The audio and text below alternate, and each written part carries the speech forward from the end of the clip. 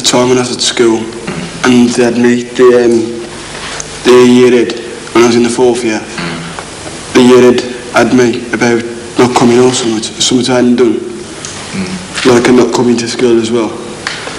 And that's, he took me into his office. Don't tell us a story. Let's do it. Hart, so you be Chris. Yeah. Yeah. And you do to Harper, that's Chris, that's you. Yeah. You do to him what this guy did to you. The other part. you want Yes. And I, I want to see this guy, and I want to see exactly what it was he did to you. to come across. Right, Chris. Well, you've uh, been bad again, are you? I haven't done anything. It's always me who gets the blame for everything, innit? It's probably because it's you most of the time. That's why. Well, it's not. It's not me this time. I haven't done anything. Build yourself up a bit more, Chris. Stop losing your temper. Be angry. Be angry, like, don't take no cheek off. You're in charge of You're a He's, teacher. he's a boy. He's, he's, He's a coming out of as a more teacher. powerful, and you've got to show that you're more powerful and dominant than he Yeah. is. Right. Do I'm going to have to strap you now? You ain't touching me, right? Oh, we'll see about that, won't we? No, we will. Stand up. Make me. Stand up. Look at my jumper. Now, stand up. Look at my jumper. Look, Chris, don't be awkward. Will you piss me off, you do? Well, he wouldn't smile, would he? No. No. Look, sit down in the chair. I'm the headmaster, right? Yeah. Now you tell me all the things you wanted to say about school and all the things you want to say about me, okay? Yeah. I'm the headmaster. Go on, go for it then. Bastard. Well, yeah, but that's, I mean, I'll tell you, explain, say. You just, you just think you know everything about me when you do. Our theatre group's called Young Foundry. It's based at Theatre Foundry in Darlaston. We've already done one show called Paint Your Bedroom Black, which we toured throughout the West Midlands. We're now holding auditions for our second show, which should start touring in about a month. Do you live at home? Yeah, Right. What does your, what does your dad do for a living? he's not working at the moment. He's out of work. Do you, do you live with your parents? Yeah, Um, what's your dad do for a living? he's a policeman. Let's set up a family situation, like something that we all know, round, let's say round the meal table.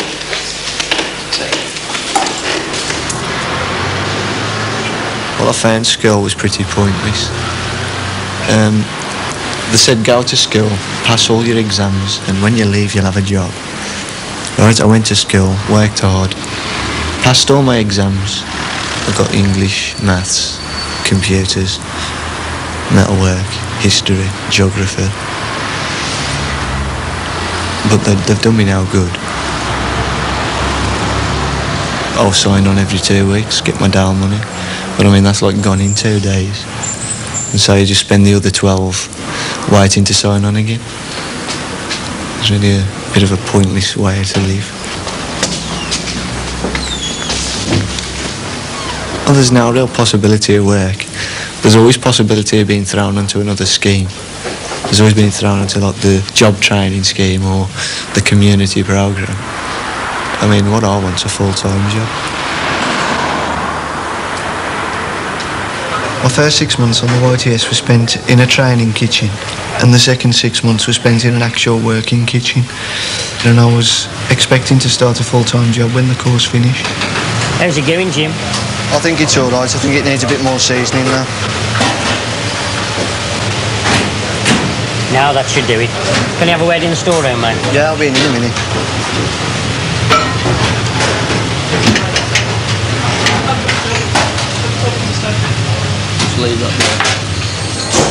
Coming in, Jim. I've been looking at your records and you ain't got long left now, have you? Nah, about three weeks. Well, I, I wanted to ask you, have you got anything planned for when you finish the scheme? You said if I went to college, passed me exams and did well at work, I'd, you'd keep me on at the end. Yeah. I know we said that, Jim, but we've done all we can really with you now on, on the scheme as it is. Um, you know all the job. We can't lane you anymore as it is. Um, I, I- we feel now that it's up to you um, to go out, get yourself a job and set yourself up, you know. Well, I ain't staying here to finish the scheme. I'm going back to the training centre. I th- uh, well, I'm, I'm sorry, but um, I think you ought to stay and uh, just finish the, the course. You've only got three weeks to go, and if, if you want a reference of us, um, it's going to look bad on that, ain't it? I and, don't want um, a reference, I want a job. Well, I'm sorry, mate. There's nothing I can do. Well, I ain't staying here. Oh, I'm sorry. Well, that's it then, eh?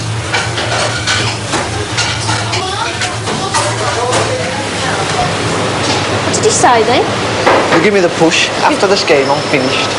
But I thought they was keeping you on here. So did I. They'll probably do the same for you. Oh, that ain't fair. What you gonna do now? I'm going back to the training centre. Yeah, Teddy. See you, lad. I like to write about things I've seen, places I've been, people I've known. I like to, to get all those things into one room to set it in a play.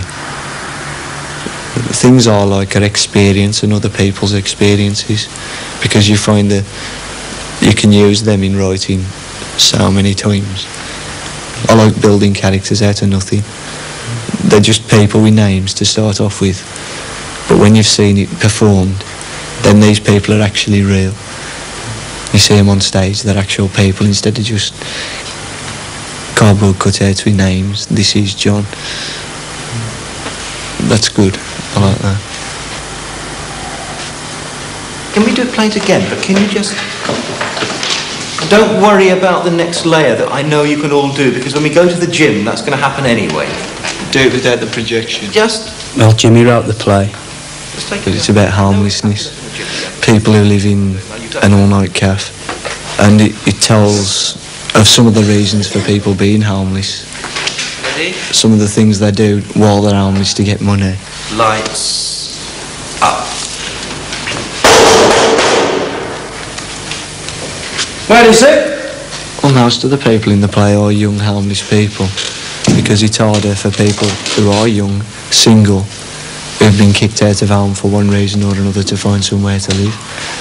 Quite a big majority of young people who are homeless, there's a family problem that puts them there. But if it is, you can always come and share mine.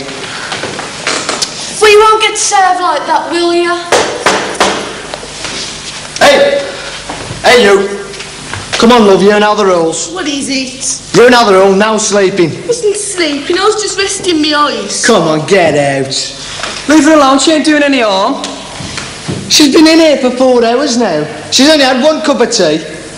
This is a restaurant, not a doss house. Now either she buys something or she's out. Um, Homelessness is it's a very real problem. I mean, in Birmingham, there are people living in cardboard boxes. Uh, there are people living in all-night cafes. There are people living in places like the Boot Centre, Trinity Centre.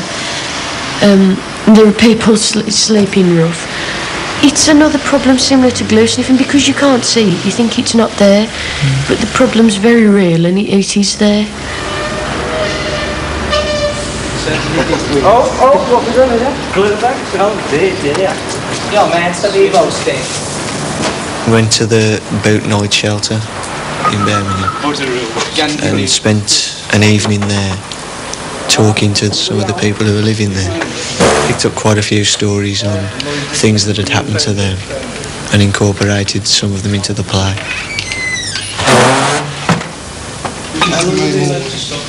Uh, from one night to 35 days. This is a common room. Some of the residents, can see. Can that pay? Uh, depending on uh, your status.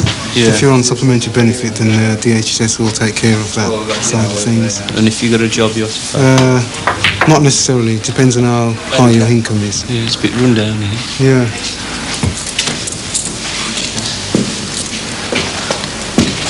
It's uh, a bit grotty, yeah. Yeah. What sort of reasons do people come here, you know? Various uh, marital, marital breakdowns, parental feuds, family feuds, debt. Yeah. It could be anything. What's the main reason for somebody being homeless to come to a place like this? There is no main reason. No, it's just various. Various. You know, GPZ. Yeah, it's um, it's thirty-five pound off two grand for it.